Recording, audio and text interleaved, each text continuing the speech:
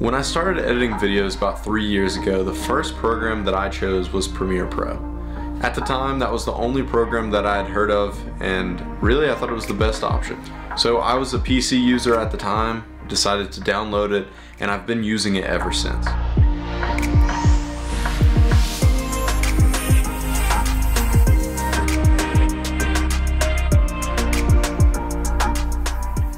I would say the large majority of people that I know that edit use Adobe Premiere.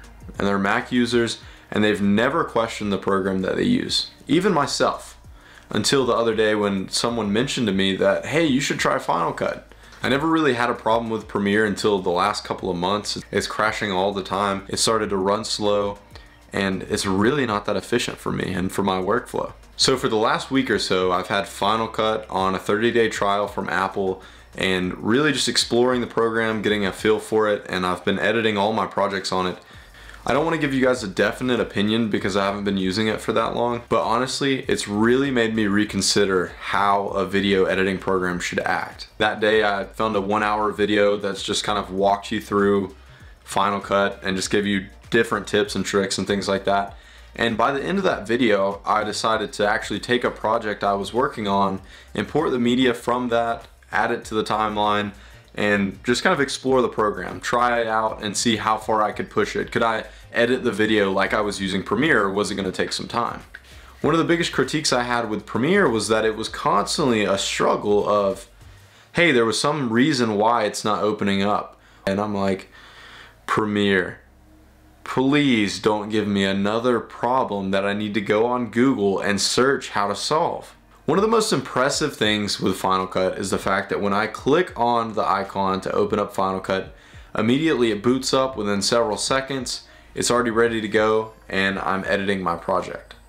If you go and import media from a card, it'll copy all that to the library for you, create all the folder structures, and do all the work in the back end so you're not having offline media all the time. The magnetic timeline is something that took a little bit of time to get used to, but it's actually, to me, a lot more efficient for what I do. I've got some keybinds that I use in order to drag and drop the footage in, and that has made editing and just sifting footage so fast. A lot of times in Premiere, I'm dealing with proxy files because I can't play back at full resolution 4K footage. Well, when I opened this project, I was assuming the same thing. Hey, I'm gonna need proxy files. I immediately imported the regular 4K footage and it's butter smooth. You can pan through every clip, you can apply effects, and there's no problem whatsoever. Final Cut I found out is actually even rendering in the background to prepare it for export. Now I'm one to get easily distracted and it's if you edit in Premiere, you know that the newer newer versions of Premiere are constantly crashing. So in Premiere, a lot of times I was dealing with crashes, the spinning wheel of death, I can go on and on by all the different ways I can troubleshoot Premiere. I was constantly dealing with those problems and there was many cases that you'd completely lose your project but immediately when I started using Final Cut I realized like like there is no save button it's constantly saving your project all the time so I'm honestly just super impressed that Final Cut is able to offer a better experience and give enough features for me to do my work now maybe it can't do everything that Premiere can, but I've yet to reach a point during this week that I've been like, I really wish I had Premiere to do this.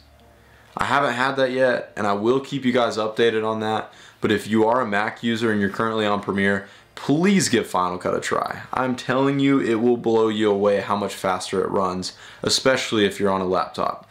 Now understand if you have a really beefy computer and Premiere runs perfectly smooth, maybe you have nothing to worry about. But if you're anything like me, constantly editing on the go, you should really consider Final Cut. As always guys, thanks for watching. I'm glad you guys could tune into this episode. It is episode 2 of 100 in a series that I'm constantly trying to improve my work. So if you guys could give me any critiques, I'd love to hear them in the comments and I will see you in the next video.